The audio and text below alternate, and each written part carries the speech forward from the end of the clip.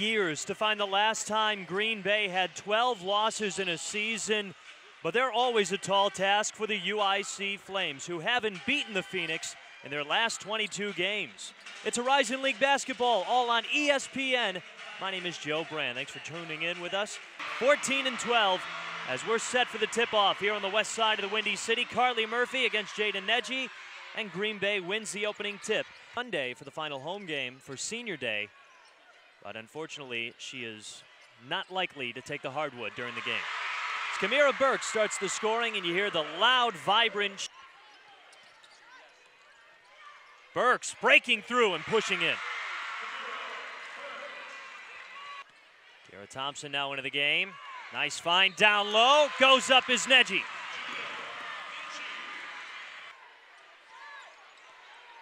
Jaleesa Presswood inside to Case. Nice job of keeping it in.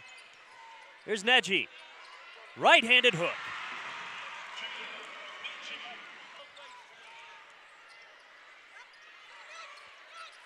Here's Case.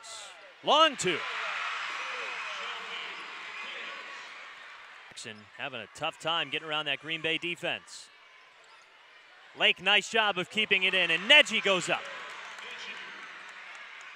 Hibner, 4 3, too strong.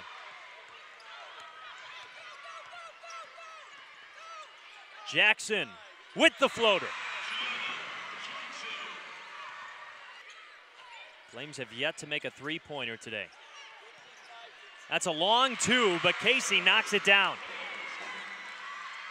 And against Youngstown State on their last homestand. They haven't won since then. As Jaleesa Presswood picks up a great pass from Tiana Jackson. Case with the three attempt, knocks it home. That ends the scoring drought for UIC. Led the team and led the conference in rebounds and blocks, but in different years. Mackenzie did it her sophomore year. Madison did it her junior year. Paul. Thompson for a big three.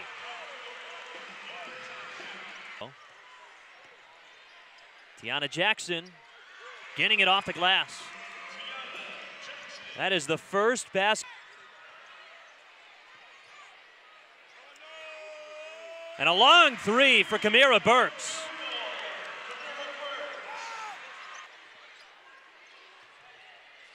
Jaden Neji, nice move.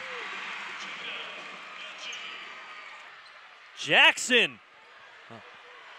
Neji with the putback. Thousand in her career.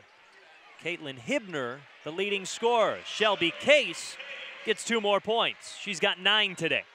Now, now Green Bay will pick up win number 15. Again, they've guaranteed at least a 500 season. Kevin Borseth earns win number 416 for Green Bay.